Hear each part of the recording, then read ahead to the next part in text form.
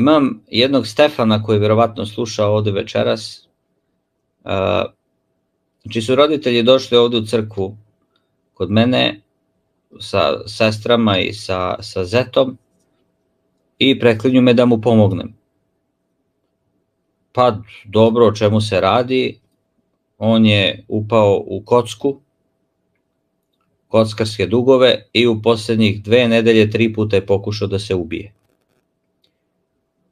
Uh, poslednji put je ovaj uh, Prokocko pazar od svog šefa,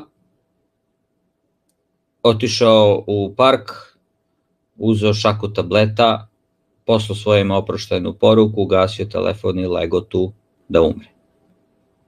Jedan mlad čovek koji život još nije zagazio, koji ne zna koliko može da doprinese i koliko je važan i koliko, ga je, bit, koliko je bitan, da ga je đavo tako prevario da on tako se lako odrekne svog ovaj života.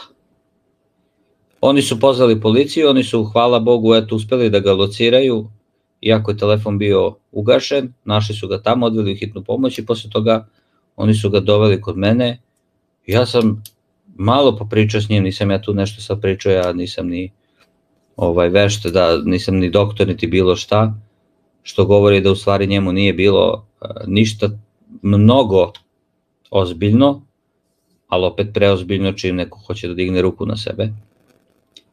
I nakon jednog razgovora ja sam rekao, čoveče, ej, koliko ti još možda doprineseš ovom svetu? Si mislio tako se izvučeš? Ajde, rekao, trebaš mi. Bogu trebaš. I on je odmah to shvatio, završio je tu sa kockom. To trenutka je rekao sebi da je svoje kockarske dane završio i da više time neće da se bavi. Hrabro je donao tu odluku. Dolazi kod mene i kaže ja moram da idem sad u, u bolnicu, tu tamo duševnu, ovaj, po našem zakonu, ja mnogo puta je digo ruku na sebe i ovaj i onda je, uh, ja rekao ništa sine idi, idi cepaj tamo, završi to tamo, gledaj nauči neku lekciju i da se vratiš i da budeš od koristi svima nama. I on je sa takvom radošću i sa takvom lakoćom sve to izdržao. Hvala Bogu, živ je i zdrav. Čujemo se redovno telefonom, izašao je pre nekih mesec i po dana otprilike. Drugi primer, kada sam bio u manastiru Kuporiju, prilazi mi jedan dečko i kaže ja sam taj taj iz Beograda, ja sam oče uh, imao posao, biznis, Nisam to vodio kako sam trebao i zbog moje nemarnosti, zbog moje gluposti. Ljudima nisam ispoštovao ono što sam trebao i ljudi su me tužili za odštetu, za ovo, za ono i sad mi ne gine zatvor. Šta da radim? Ko bre ništa Marko, ićeš u zatvor i zatvori za ljude, pa ćeš da izvučeš neku lekciju i u tom zatvoru.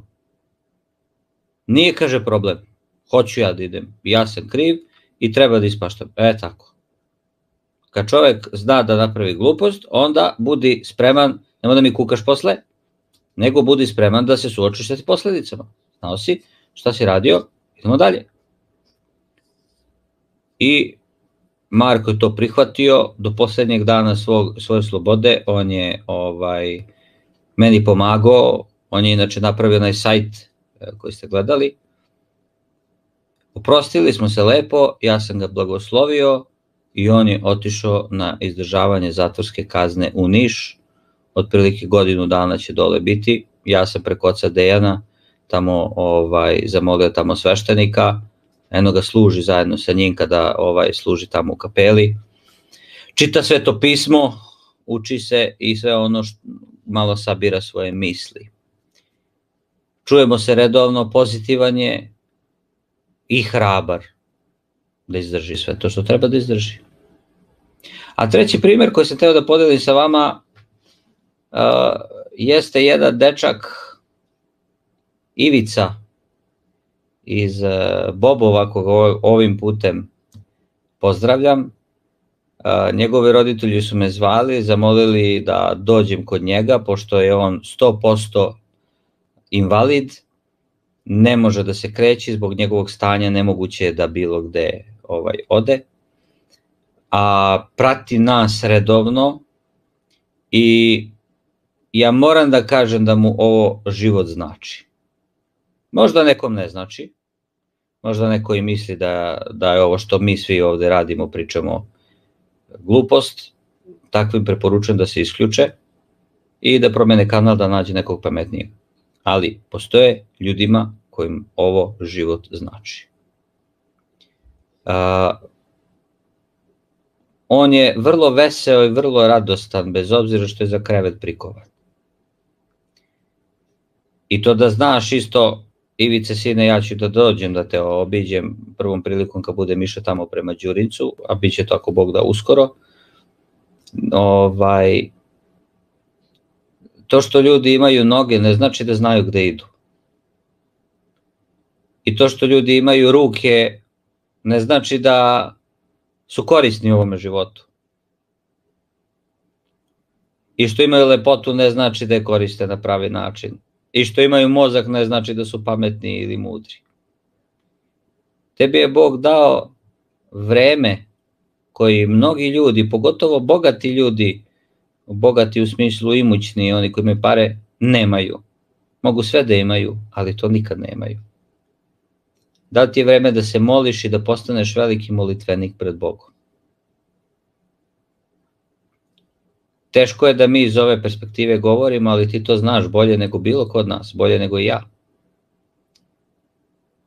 U manastiru Svete Petke izvorske dole gde su deca sa potrebni, posebnim potrebama, a, priča se vam to jednom prilikom, ako se sećate, a, ima negde oko stotinu dece, a, ženske, koje monahinje čuvaju i paze, kad je sveštenik oboleo od a, raka galopirajućeg u metastazi, da su doktori rekli da samo par meseci ima života, da više nema ovaj nikakve ni terapije, ni operacije, ni bilo čega.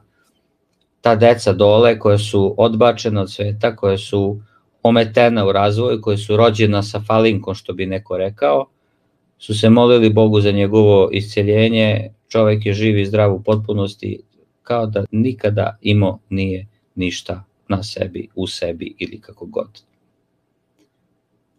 Za molitvu nisu potrebne ni ruke ni noge. Za molitvu je potrebno srce prvoshodno da govori iz čoveka. A sa druge strane, pre nedelju dana dobio sam vest jedna devojka iz Lapova, nedaleko od Velike plane, a isto blizu i Bobova, 22 godine, koja ima desetke na dva fakulteta, lepa kao lutka, zgodna kao manekeka, zdrava kao dren, a, izvršila sam ubistvo i pucala sebi u glavu. Ovo je, braći i sestre, život. Ja vam pričam samo ono što se dešava meni u, u mom okruženju, mojoj duhovnoj deci i ono što ja saznam u roku od nedelju dana ono sa čim mi e, saživljavamo redovno sveštenici. Mnogo toga još ima u našim parohijama, pa neko misli je pop, ovako onako. Živimo mi sa tim narodom, delimo njihovu tugu, njihov bol. Jedna devojka koja je potpuno zdrava i sposobna nije videla ulogu i smisa u životu. A to nam govori da ona nije imala hrabrosti da nastavi život, a čim nema hrabrosti znači da nema vere u Boga i da se tako kukavički povukla iz ovoga života. Za život je potrebna hrabrost, za ljubav je potrebna hrabrost, za sve je potrebna hrabrost. Zato uh, pozivam sve vas pravoslavne hrišćane, a i sve uopšte hrišćane i sve ljude koji slušaju ovo, da nađu hrabrosti da se suoče sa onim što ne valja u svom životu. Ono što je do nas promenimo. Ono što nije do nas Šta mi tu možemo? Da se nerviramo, da patimo, da plačemo, a ne možemo to da promenimo.